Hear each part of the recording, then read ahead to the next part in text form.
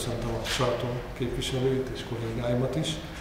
Igen, ez érdekes, hogy amikor megérkezik a tavasz, akkor a jók is úgy beteszik a, lábát, a lábukat a létszomba. Ugye előző sajtótájékoztató mondtam, hogy nagyon sok betegünk van, és nagyon szeretnénk, a fölgyógyulnának, de hogy reménykedünk abban, hogy a jó dolgok is megérkeznek hozzánk. A mai nap első jó dolga, ami biztos meg fog érkezni, 9 óra 50 perckor a honvédelmi miniszter lesz, aki ide látogat az egyetemünkre, ami nyilván nagyon nagy megtiszteltetés, és nem csak egy 10 perces készfogós látogatásra érkezik, hanem előadást is tart, úgyhogy nagy nagy örömmel meg kíváncsisággal várjuk.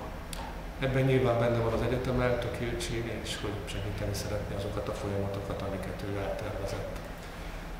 A másik jó hírünk azt, hogy a Oktatáskutató és Fejlesztő Intézet az elmúlt évben rengeteg digitális könyvet készített el. Ezek a digitális könyvek, ezek a papír alapú tankönyveknek a digitális párjai. Elkészítették a Nemzeti Közoktatási Portált, tehát a pedagógus képzésben, amit ígértünk, hogy szeretnénk meghatározók lenni, ez folyik gőzerővel, és hát az az öröm bennünket néhány nappal ezelőtt, hogy ennek a projektnek van folytatása, és így érkezett az egyetemre több mint két milliárd forint forrás, ami a további munkát támogatja, illetve a sajátos nevelési igényű gyerekeknek elkészítendő tankönyveket és digitális tankönyveket kell majd kifejlesztenünk, ami egészen fantasztikusan komoly hír. A harmadik jó hír, és majd Dékán asszony, amíg akar egy-két kiegészítő mondatot biztosan mond, az, hogy az egyetem meghívást kapott a Római Magyar Akadémiára, ahol a művészeink bemutatkoznak. Ettől több a, a, az igazság, tehát hogy az egész bölcsészkaron be fog mutatkozni. Úgy gondoljuk, hogy mind a képzőművészeink, mind a zenészeink, mind a mozgóképeseink bemutatkozása egy fantasztikus nagy öröm. Eléggé nagy szavakat erre nem tudok használni, mindig erre vágytunk, hogy Európában megjelenjünk most meg fogunk jelenni, és hát itt sajtónyilvánosan már köszönetet Dékán asszonynak, úgy gondolom, hogy amióta a bölcsészkarat vezeti, sok-sok sikerélményt gyűjtöttünk be, de úgy gondolom, most visszaigazódott az a bölcsessége is, hogy szeretné azt, hogyha nem bölcsészettudomány, hanem bölcsészettudomány és művészeti kar legyen. Úgyhogy úgy gondolom, hogy most a művészek megajándékozták a kart azzal a igennel, hogy igen, ez jó döntés volt, úgyhogy gratulálok a karnak fantasztikus hónapot fogunk ott tölteni Rómában, de nem kell én nem töltök ott egy egész hónapot, csak a kiállítók, meg a kiállítás. De a nyolcadikai megnyitóra ott leszek, és úgy gondolom, hogy hát botladozó szavakkal, de azért megpróbálom elmondani, hogy milyen sokat jelent ez az egyetemnek. Egy olyan egyetemnek, ahol egyébként vannak római kötődései, már csak azt az egyet említjük, hogy alapító vonatjánk eh, Eszterházi Károly püspök úr Rómában tanult. Köszönöm szépen, hát szép napot kívánok, és hallgassák figyelemmel a mellettem őket is.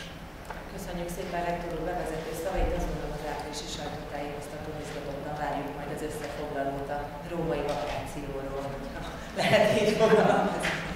Természetesen dolgozik ennek a kollégák. Az Eszterházi Károly Egyetem számára természetesen nem csak akkor fontosak a hallgatók, amikor szeretnénk őket megnyerni abban az irányban, hogy nálunk tegyék le a voksukat, meg amikor itt töltik a tanulmányi idejüket, hanem szeretnénk a kezüket akkor is fogni, amikor elindulnak kvázi a nagybetűs életbe és munkát keresnek. Létrejött egy nagyon fantasztikus új honlap, rektor helyettes asszony gondozásában mondhatni, amely pont ezt a célt szolgálja, úgyhogy tisztelettel felkérem helyettes asszony, hogy legyen olyan kedves, mutassa be a sajtóképviselőjének ezt a Köszönöm szépen. Kapcsolódni szeretnék rektor úrhoz mindenek előtt, és úgy vélem, hogy nem érdemtelenül szokták az Eszterházi Károly Egyetemet a pedagógus képzés fellegváraként említeni, ugye ismert tény már a sajtó tisztelt képviselői előtt, hogy hogy az egyetemünk berkeiben folyik az új nemzeti alaptanterv fejlesztés, amely a közoktatás meghatározó legfontosabb dokumentum, vagy az Eszterházi Károly Egyetem gondozásában jelennek meg a nyomtatott, és ahogy rektor úr is említette, okos tankönyvek, a köznevelési okos portál fejlesztésére éppen most értünk forrásokat, és, és ugye a komplex alapprogram, amely módszertani megújulást hoz majd a köznevelésbe. Mindemellett egy szakértői csapat dolgozik azon, hogy a pedagógus képzést is megújítsuk. Gyakorlatiassá tegyük, kézenfogva a pedagógusokat akkor, amikor, pedagógus jelölteket akkor, amikor bejönnek, és útjukra bocsátani akkor, amikor kimennek majd tanítani. Ennek a munkának egy picin szelete az, hogy kövessük őket, mint a pályájuk kezdetekor, mint egy állás lehetőséget is nyújtva számukra. Részben ezért, részben pedig a, a Klebersberg központtal együttműködve, fókuszálva a várható pedagógus létszám csökkenésére terveztük meg és hoztuk létre ezt a pedagógus állás lapot. Itt részben az intézmények, ha, regisztrálnak, nem csak a Klebesberg központ, hanem a egyház megye katolikus intézményei is regisztrálhatnak, és hogyha regisztrálnak, akkor oktatási azonosítóval, UM azonosítóval, intézmény azonosítóval rögzíthetik azokat a hiányzó szakképzettségeket, amelyek, amelyeket kínálnak. És válogathatnak azok közül, a pedagógusok közül, akik ide föltöltötték az adataikat. Itt láttunk már egy csomó álláskereső pedagógus feltöltve, én azt gondolom, hogy e, ebbe most ne adatvédelem szem tartása miatt ne tekintsünk bele, de a pedagógusoknak lehetőségük van kiválasztani azt, hogy milyen közismereti tanár szakosok, illetve feltölteniük az életrajzukat és elérhetőségüket is. Ha, ha a pedagógus jelölt vagy pedagógus, végzett pedagógus regisztrál, akkor pedig lehetősége van az intézmények közül válogatni, az állást kínáló intézmények közül, szintén, de nem csak, csak szövegesen, hanem térképen is megjelenítve azokat az iskolákat, ahol állást kínálnak. A, az elején, hogyha közismereti tantárgyak kattint, vagy a szűrés gombakra kattint a pedagógus, akkor kiválaszthatja, mondjuk válasszuk ki most a fizika tanár, hogy e, mely iskolákban kívánnak jelenleg e, fizika tanári állást. Kicsit lassú a gép, de azért betöltődik. Nyilván az iskolák feltölthetnek fotókat, e, ugyanígy a pedagógusok is. Itt látjuk, hogy fizika tanári állás már sok helyen kínálnak, mondjuk menjünk rá a, az ecsegi iskolára, és akkor itt a álláskereső pedagógus megláthatja, a, vagy elér, az elérhetőségét, találja meg az iskolának a kapcsolati lehetőséget, és menjünk lejjebb egy kicsit, láthatjuk, hogy az ecsegi iskolában ilyen szakos tanári állásokat kínálnak. Mondjuk egy fizika-kémia szakos tanár itt nagyon jól el tud helyezkedni, és hát ugyanígy más szakosok is, hogyha számukra kedvező lehetőséget kínálnak az iskoláknak, az adataik feltöltése során arra is lehetőségük van, hogy extra szolgáltatásoktól adjanak számot, például a szolgálati lakást kínálnak, vagy éppen plusz fizetés, kiegészítést, akkor ezt is közölhetik a pedagógus jelöltel, illetve az álláskereső pedagógussal. Menjünk vissza a főoldalra, és mutassuk meg, hogy jelenleg most 401 pedagógus vagy pedagógus jelölt regisztrált, 78 intézmény 182 állása közül választhatnak eh, az álláskeresők. Bízunk benne, hogy ennek a hollapnak a működtetésével hozzájárulunk ahhoz, hogy egymásra találjanak az álláskereső pedagógusok és az állást kínáló intézmények, és hosszú távon hozzájárulunk ahhoz is, hogy csökkenjen a pedagógus hiány az országunkban. Köszönöm szépen megtisztelő figyelmet. Is nagyon szépen köszönjük a és asszonynak a bemutatót. Reméljük, hogy minél több hallgató él és böngészgeti, él a lehetőséggel és böngészgeti majd ezt a honlapot, hiszen értük nekik is jött létre ez. Van egy kérdés esetleg ezzel a témával kapcsolatban a rektor helyettes asszonyhoz? Amennyiben nincs, akkor megyünk tovább. Tovább és hát ugye említette rektor úr, hogy a Bölcsészettudomány és Művészeti Kar képviseletében elég hosszú ideig Rómában lesznek kollégáink, úgyhogy meg kell osszák az erejüket, hiszen berobbant a tavasz, ahogy már ezt a bevezetőben is mondtam, és hát az EGRI Tavaszi Fesztivál programjai, aminek idén is jelentős részét bizony az Eszterházi Károly Egyetem művészei, művésztanárai adják. Tisztelettel felkérnék mindjárt már a Zsuzsanna Dékán asszonyt, hogy legyen olyan kedves, hát a teljesség igénye nélkül azt gondolom, a sajtórék munkatársai természetesen megkapják majd a teljes listát, legyen olyan kedves csak szemezgetve bemutatni egyet-kettőt azokból a programokból, amelyet az egyetem kínál a következő időszakban. Köszönöm, köszönöm a szót. Igyekszem rövid lenni, de valóban nem könnyű, hiszen nagyon sok programról számolhatok be. Zenei, képzőművészeti, irodalmi, történelmi és filmes előadások lesznek az Eszterházi Károly Egyetem Bölcsészettudományi és Művészeti Karának a programjában, a tavaszi fesztiválhoz kapcsolódva. Elsőként a zenével kezdeném. Egy nagyon érdekes hangverseny lesz április 9-én. Az Eszterházi Károly Egyetem művésztanárai és hallgatói adnak egy közös koncertet. Ehhez az is kell, hogy most már legyen egy olyan kórusunk, és legyenek olyan hallgatóink, akik vállalják a koncertszereplést is. Ez a kórus, amelyik még csak néhány éve működik az egyetemen, de már nagyon szép sikereket ér el, a jövő héten éppen Kárpátaljára utazik, egy fesztiválra, utána pedig a budapesti Nemzetközi Kórusfesztiválon fog szerepelni, és a két fesztivál vagy versenyszereplés között egy nagy koncertet ad április 9-én, egy nagyon változatos repertoárral az egyetem művésztanáraival. Ugyancsak a kórus, az Eszterházi Egyetem kórusa és az Egri Érseki Fiú Kórus fog szerepelni öt nappal később egy olyan koncerten, ami egri kötődésű fiatal zeneszerzők műveiből áll össze. Magda Dávid, Kátai László és Zomola Péter szerzeményei fognak felcsendülni itt a Kápolnában, és ezen a koncerten is az egyetem művésztanárai fognak közreműködni a két kórus és egyéb együttesek mellett.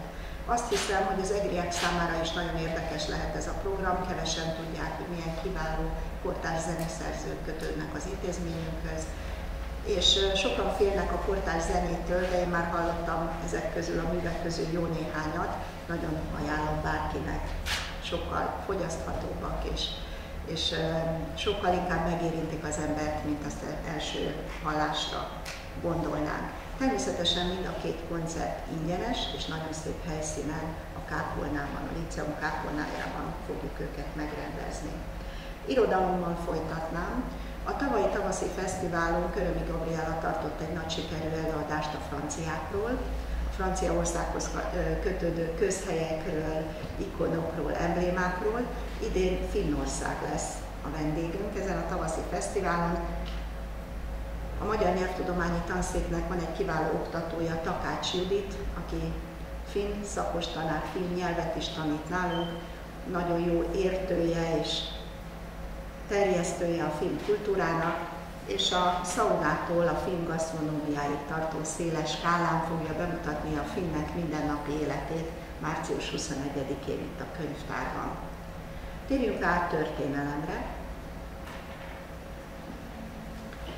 Az első történelmi előadás már az előbb emlegetett Eszterházi Károlyhoz is kötődik, de most másképpen. Az Eszterházi család történetéről mi mindig csak a 18. századról és Eszterházi Károly kapcsán beszélünk, de dr. Varga Kálmán, a Történettudományi Intézet oktatója most az Eszterházi család 20. századi történetéről fog tartani előadást, vagyis azt fogja megmutatni, hogy ez az arisztokrata család hogyan éli túl az államosítást, a szétszóratást, és hogyan élnek ma a család tagjai szerte a világban. A másik történelmi személyiség, ez ezt előbb Eszterházi Károlyt és a családját idéztem, Rákóczi Ferenc lesz. Rákóczi Ferenc Rákóczi év kapcsán most sokkal többször kerül előtérbe, mint eddig. Dr. Gerei Sándor professzor úr fog tartani róla egy nagy előadást, március 19-én a Titelpár, Titelpár könyvtár földszinti termében. Kevesen tudják, hogy Rákóczi többször is járt Egerben, részt vett 1750 a húsvéti körmeneten, és atyai barátjának, pártfogójának tartotta telekesi püspököt, akiről a memoárjában is megemlékezik. Tehát itt is van egy egri kötődés. Ugyanekkor fog megnyílni egy kiállítás itt a Líceumban, a harmadik emeleten, második Rákóczi Ferencről, tehát most már egy kicsit közelítünk a Vizuális Művészeti Intézet rendezvényei felé, még akkor is, ha ezt a kiállítást nem ők, hanem a Történettudományi Intézet készítette, és a kurátora Gebei Sándor tanár. És akkor most jöjjenek a vizuális rendezvények, a nagy kiállítások, a legfontosabb ezek közül, ahogy már eddig is a tipozónak kiállítás. Harmadszor kerül megrendezésre, Látom, hogy bologatnak, ismerik, tudják, hogy ez egy nagyszabású, nagyon jó kezdeményezése a Vizuális Művészeti Intézetnek. Idén ez már nemzetközi kiállítás lesz.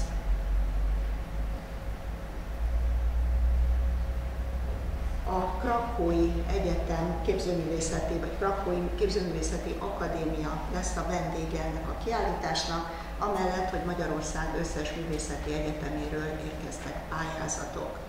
Nagyon érdekes a témaköre is, kopi, másolás, copy paste ez a címe a kiállításnak, tehát biztosan fantáziadús és érdekes alkotásokat nézhetünk majd meg, ugyanott, ahol eddig a templom galériában. Ennek a kiállításnak a megnyitója április 11-én lesz, a költészet napján. Éppen ezért ez egy sokféle művészeti ágat tömörítő megnyitó lesz, ugyanis egy performance fog kezdődni, amit a Gárdonyi Géza Színház és a DG Tánc Eger művészei fognak bemutatni, szintén a templom galériában a kiállítás megnyitó eseményeként. Itt mondanám el, hogy április 11-e a költészet napja a mi életünkben nagyon fontos. Én az irodalomtudományi tanszék vezetőjeként el tudom mondani, hogy a hallgatóink nagyon aktívan reggel 9-től mindenféle költészetnapi programokkal várják majd a Líceumban látogatókat. A tavalyi verskovadló nagyon sikeres volt, biztosan lesz idén is. 12 órakor pedig Sárközi Péter fog egy előadást tartani József Attiláról, akinek a József Attila könyve tavaly decemberben jelent meg második kiadásban. Még egy ö, fontos program, a film. Ugye a film nem maradhat ki Rómából sem. A mi karunknak van egy nagyon jól működő filmes tanszéke, és két program is kötődik a filmhez. Nemrég készült el Tilla Tilának a Tiszta Szívvel című filmje, nemrég volt a bemutatója, talán hallottak róla.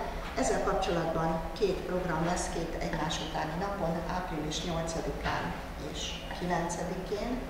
Lesz egy beszélgetés, egy workshop, ahol filozófiai, pedagógiai, művészetterápiai szempontból elemzik ezt a filmet intézményünk oktatói, Kisvirág és Széplaki Gerda.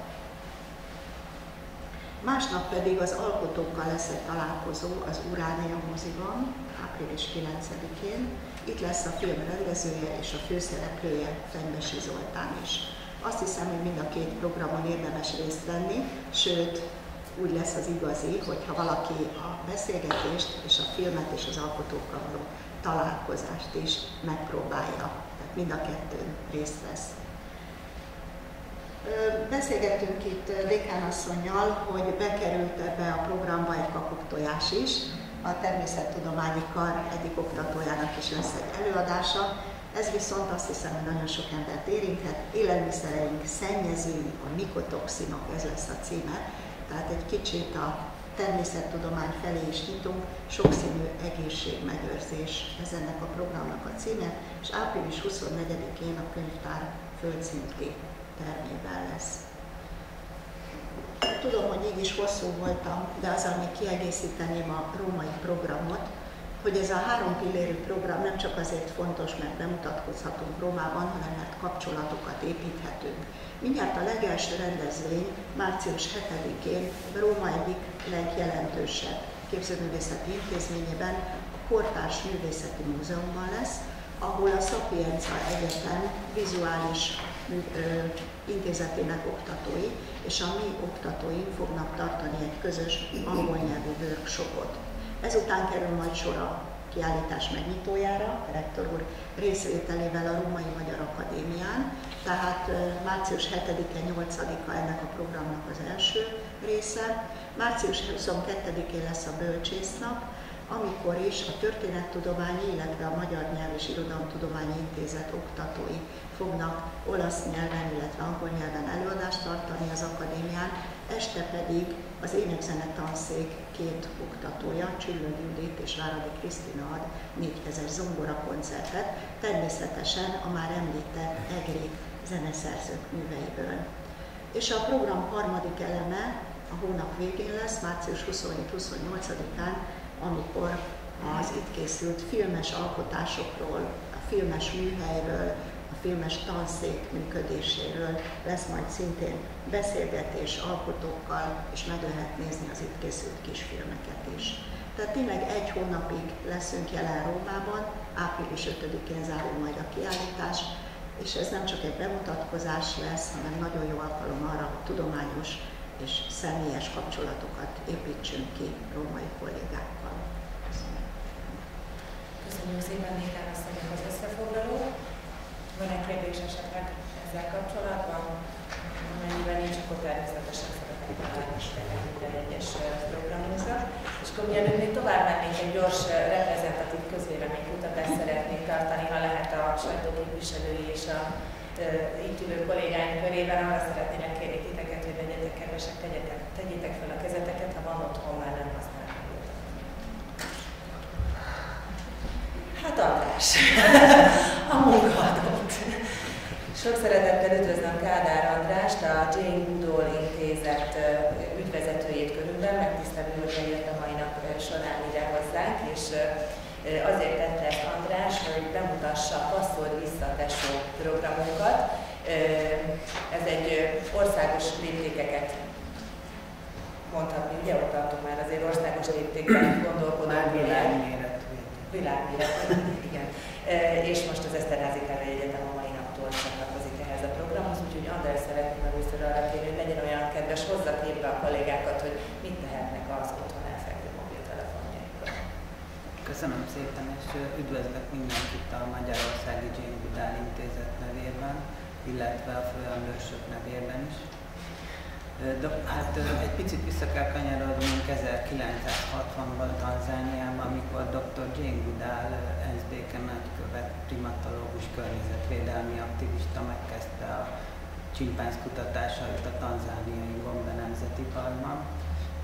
Itt vált ismerté a neve, amikor felfedezte a csimpánzok eszközhasználatát, és ezzel vált világhírű tudósság egyik nap egy kis repülővel a Nemzeti Park felett repülve vette észre, hogy egyre fogynak a szeretett csimpánzainak az élőhelyei, és ezért létrehozta a Shoots környezet és természetvédelmi programot, illetve a Take programot, ami a helyi közösségeket fogta össze és segítette őket, hogy rájöjjenek, hogy ők tehetnek azért, hogy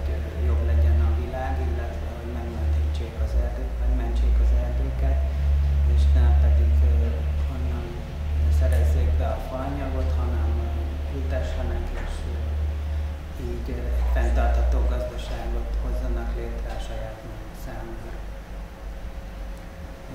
84 évesen még mindig aktívan járja a világot, 300 napot utazik egy évben, és előadásokat tart az embereknek,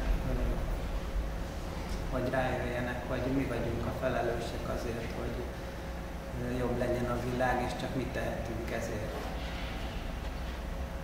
Az egyik leghíresebb mondása pedig a minden egyes apró cselekedet számít, minden egyes ember tehet a változásért, minden egyes nap, minden egyes percben.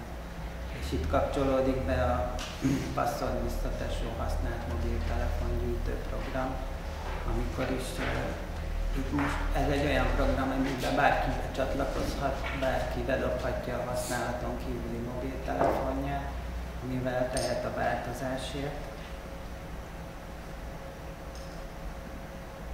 És ráadásul az elektronikai iparnak egy másodlagos nyersanyagforrást hozhatunk létre, ami fenntarthatóvá teheti ezt az ipar, iparágat. A mobiltelefonokban található körülbelül 60 féle kémiai jelemből 17 újrahasznosítható. Így ha azt nézzük, nem, nem túl sok, ami hasznosítható egy mobiltelefonból.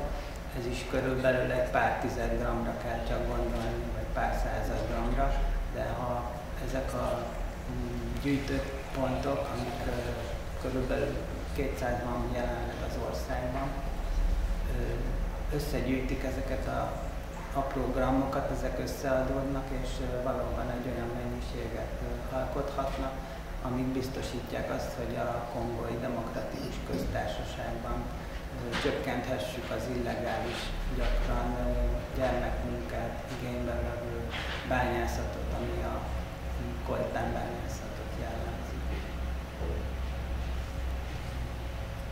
Emellett még a gorillák és csimpánzok élőhelyét is tönkreteszi ez a bányászat, ami, ami pedig hát a főemlős rokonaink megismerését, a saját életünk kialakulását tudományos szempontból hátráltatja, mert még rengeteg mindent nem tudunk a bonobókról, a csimpánzokról, vagy a keleti, nyugati síkvidéki gorillák életéről. Hát rengeteg gyűjtőpont jelentkezés van, ugye már mondtam, hogy 200 gyűjtőpont körül járunk. Ezeket a honlapunkon keresztül lehet megtalálni, ahova feltöltöttük egy Google űrlapra, és innen pedig egy Google térképre, így bárki a saját lakóhelyének közelében megtalálhatja ezeket a gyűjtőpontokat rengeteg óvoda, iskola, illetve egyetem, egy országos kávéház láncolat csatlakozott a programhoz, illetve multicégek, kisvállalkozások, és most legújabban az Eszterházi Kávéegyetem csatlakozott, amit nagyon köszönünk, és ez a sok csatlakozó reményt adhat arra, hogy valóban csökkenthetjük az illegális bányászatot, és főemlősök megmenekülhetnek. Úgyhogy mindenki keresse elő a fiókjában a lapul mobiltelefonokat, és keresse fel a gyűjtőpontjaink egyikét, és dobja be, úgyhogy passzolják vissza, legyenek szívesek a mobiltelefonokat. Köszönöm szépen a meghívást. Köszönjük szépen mi is ügyvezető igazgatónak. Pénzesnik Mónyárik a dékán asszonynak adnám meg a szót, hogy mondja legyen olyan kedves a sajtóképviselőnek, hogy az egyetem milyen módon csatlakozik, és akkor hogyan, hogyan működik ez a rendszer. Először is köszönöm szépen azt, hogy ügyvezető igazgató úr megtisztelt minket jelenlétével, és köszönöm rektor úrnak, hogy felfigyelt erre a programra, és tippet adott, hogy nyomozhatunk abban, hogy ehhez hogyan csatlakozhatunk és hát egy csapatmunka eredményeképpen a jelentkezéseket összesítve 16 dobozt igényeltünk, minden kampuszon helyeztünk el dobozokat, és itt az EGRI kampuszon is sok épületben lehet leadni a mobilokat, mind a Ránykauti épületekben, mind pedig itt a főépületben is. Én azt gondolom, hogy nagyon fontos az is, hogy belül mindenképpen mozgósítsunk mindenkit, hívjuk fel a figyelmet arra, tanárok, diákok, dolgozók számára, hogy ez, erre lehetőség van, és hogy tényleg gondolkodjunk globálisan, cselekedjünk lokálisan, minden egyes kis pont hozzátehet ahhoz, hogy ezek a fantasztikus főemlősök, amelyek közül soknak 99%-ban olyan az agyának a felépítése, mint a miénk, és csak 10%-uk él védett területen, az összes többi olyan élőhelyen él, ahol mindenféle tevékenység, emberi tevékenység folyik, és ők próbálják ezt túlélni. Ez nagyon fontos, azt gondolom, hogy az intézet céljait segítsük minden egyes ponton, és próbáljunk érte tenni. Még egy személyes megjegyzés, hogy tulajdonképpen én azért lettem biológus, mert 13 évesen egy matematika versenyen jutalomkönyvnek Jane Goodall az ember árnyékában című könyvét kaptam, amit rongyosra olvastam, tehát nekem meg különösen fontos, hogy támogassam ezt, a, ezt az intézetet minden egyes programjában, és remélem, hogy az egyetem, mivel már nagyon sok jó célért dolgozott, ebben is sikeres lesz. Köszönöm szépen. Köszönjük szépen mi is az összefoglalót, és akkor nekem pedig azt a feladatot szánnak, hogy legyetek kedvesek, adjátok kívül az egrieknek, hogy van erre lehetőség az egyetem épületeiben, és akkor áprilisban mobilitásokkal együtt várunk titeket majd vissza. De mielőtt még, mielőtt még lezárom a sajtótájékoztatót, van egy nagyon fontos témát, hiszen aki itt volt az elmúlt alkalommal, mikor itt volt mint teljes Eszter államtitkár, több alkalommal is hangsúlyoztuk, hogy milyen fontos az egyetemünk számára a gyakorlati képzés és oktatás, és hát egy igen fontos mérföldkőhöz érkezett mondhatni a Hotel Estella Kft., aki már tíz éve élharcosa mondhatni a gyakorlati képzés és oktatásnak.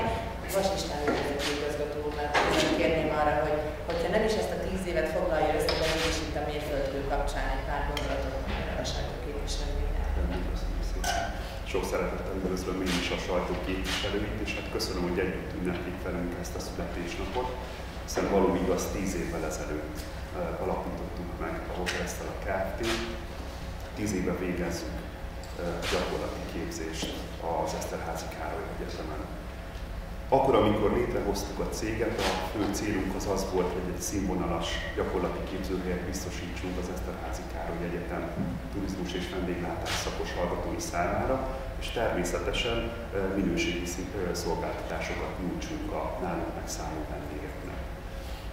Ha visszagondolok a 2009-es évre, amikor márciusban megkezdte működését a cégünk, akkor mindösszesen egy kis hotelt üzemeltettünk, 20 szobával, itt a B épület 5.-6. emeletén, és hát rajtam kívül egy félállású gyakorlati oktató és hat gyakornok dolgozott a KFT-nél.